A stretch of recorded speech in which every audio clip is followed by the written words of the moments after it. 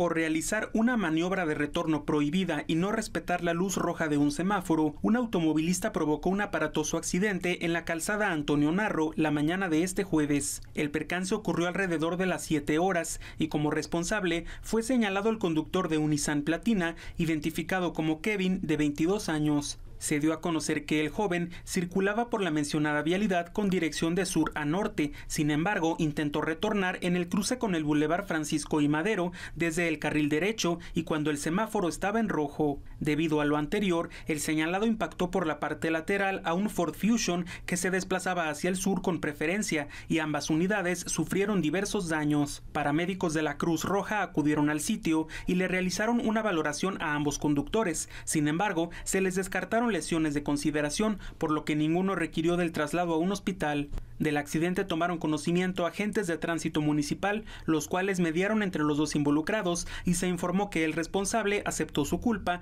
y respondería por los daños ocasionados al afectado. Informó para Telezócalo Augusto Rodríguez.